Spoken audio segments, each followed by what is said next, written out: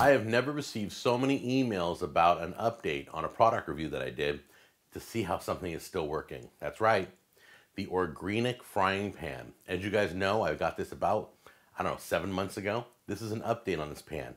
I do have an update to tell you, and I'm gonna show you up close. If you haven't seen the original review, uh, click on the screen and go to the original review first, okay?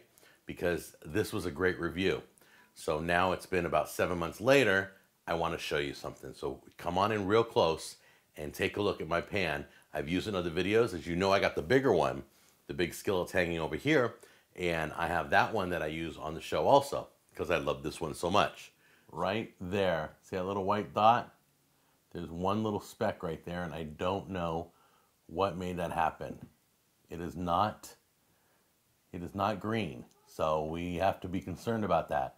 That is the only spot that I've seen in seven months, but still that's just the beginning if that's truly coming off. So I have to tell you, there's one little speck and I've cooked with it about four or five more times. Nothing else has happened and nothing sticks still. still flawless, but I gotta let you know that one little speck right there, that's what I have in seven months. We're gonna keep a look at it.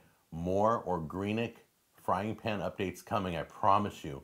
We're gonna find out these are good. We're gonna take another look in maybe about two or three months to see. But so far, I've been very happy with it.